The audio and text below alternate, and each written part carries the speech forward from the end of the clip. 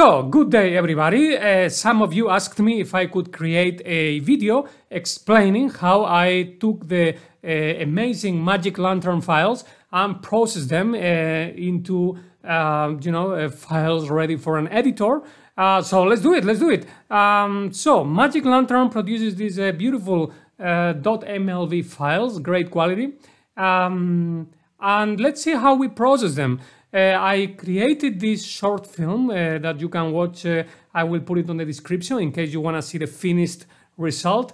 I used the Canon 5D Mark III camera um, producing these MLV files and I took them all the way to Blackmagic Resolve. So let's see how it went. And I uh, recorded in 3.5K, which I then interpolated to 4K.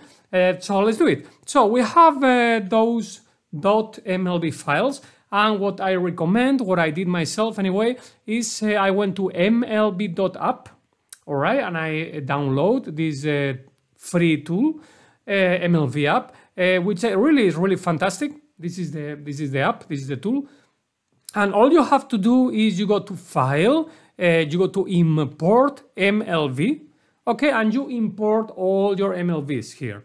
Okay, once you import them, uh, they are gonna appear here in the, in the center. And all you have to do, you will see lots of options on the right to manipulate the, the raw parameters of the videos.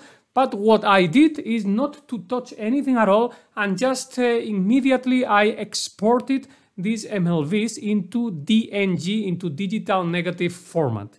All right, so what you do to do that is you go to File, you go to Export Settings, and you have to choose here Cinema DNG. Now there are three options, uncompressed, lossless and fast pass.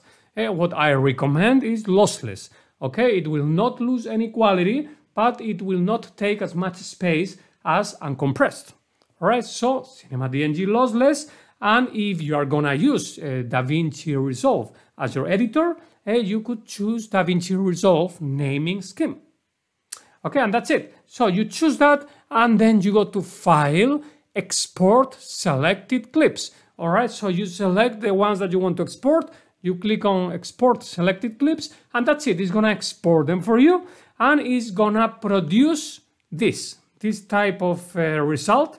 It's gonna be a folder with the name of that clip and inside you're gonna have the digital negative files. Okay, this is one for each frame and uh, they have a fantastic quality. They preserve all the raw parameters. Uh, really, really fantastic.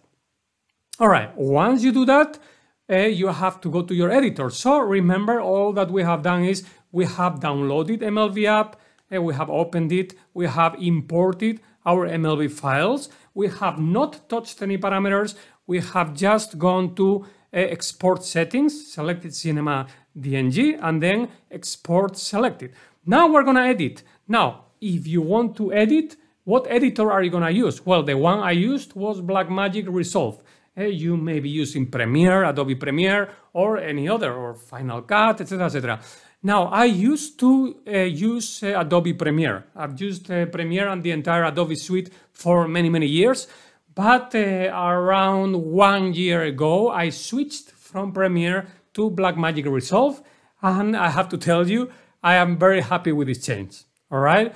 Uh, again, I've been a user of the Adobe Suite for a long time, uh, and I continue using uh, After Effects and Photoshop.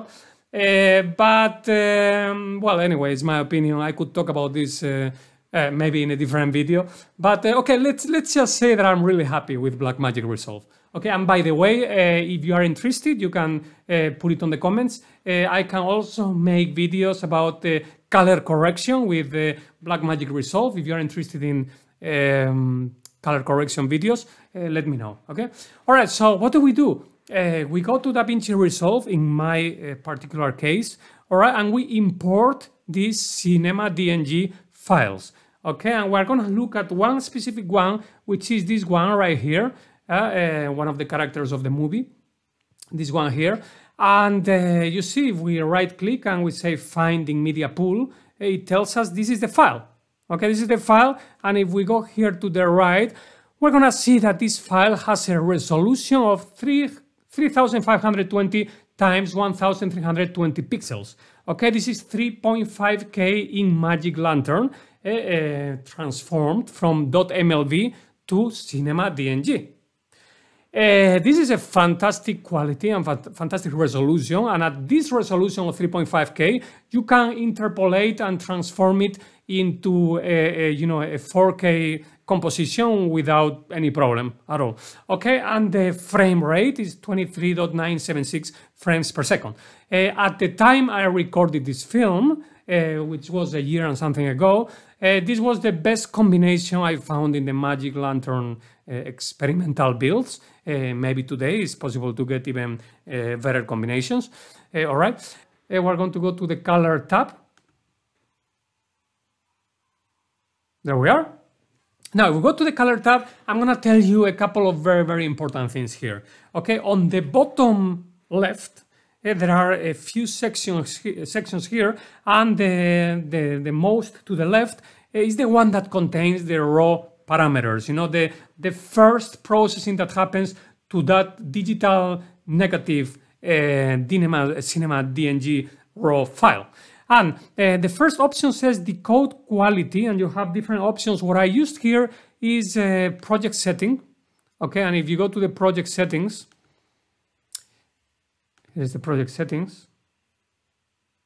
If you go to the project settings, uh, there are a couple of things here. Uh, there is the camera raw and the color management. I can get into more detail uh, in other videos in this one, but I'm just gonna tell you that in the color management, uh, you can choose to have uh, the file color managed or not. And uh, this is quite, quite a choice. And I can go in more detail about this in different videos because it's, it's kind of a long topic. Uh, but you also choose a color space uh, in, and I worked in the Rec 709. That is a typical standard, okay? So now if you choose a project setting um, and then you use decode using clip, Okay, this is going to allow you to modify some of the raw parameters of that cinema DNG file. This is very important. So before you actually, uh, you know, apply destructive transformations, you can use these parameters right here, the white balance, uh, mid-tone detail, etc., etc., is to change some of the raw parameters that came from the sensor of the camera. Uh, you also choose a color space and a gamma. In my project, I used the Blackmagic uh, design and, uh, and the, the gamma curve uh, Blackmagic design film because they produced a very flat curve that uh, gave me a lot of uh, latitude, a lot of uh, you know flexibility when doing color correction. Okay, but you can choose something completely different. You know, if I if I choose Rec 709, you see you see how the contrast has changed. You know, because it has also applied the Rec 709 curve in the gamma curve, and this produces a, a curve that has uh, way more contrast. So, you know, it depends what you want. In my case, I was looking for a, a way flatter curve, you know, so that I would have a lot of uh, latitude and flexibility when doing the color correction.